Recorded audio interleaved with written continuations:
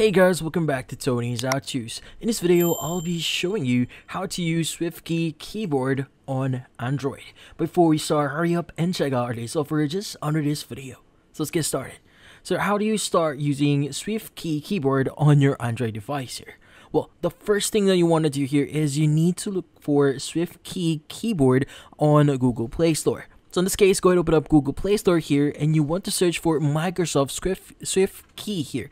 Now look for Microsoft Swift, uh, Swift Key here. Go ahead and open it up and you want to click on the install button.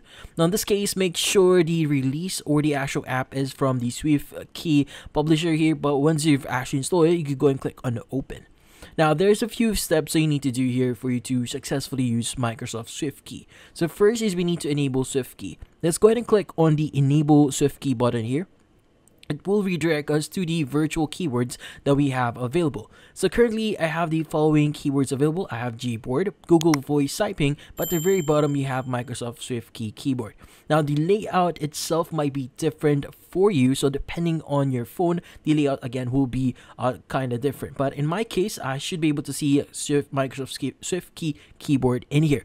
Let's go ahead and enable this by clicking on the enable button. And from here, it's going to say input methods. Maybe you're able to collect all your text you type. Let's go and click on OK. And once you've done that, it's going to say select Swift key. So you need to select Microsoft Swift key keyboard as your default input method. Let's go and click on select quit Swift key. Now from here, you want to choose Microsoft Swift key keyboard here. And from here, just click on try your keyboard.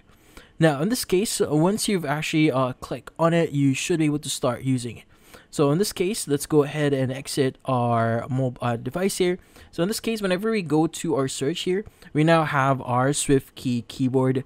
And from here on, you should be able to start using it. And that's about it. So if you found this video helpful, hit the like and subscribe button and watch our next video.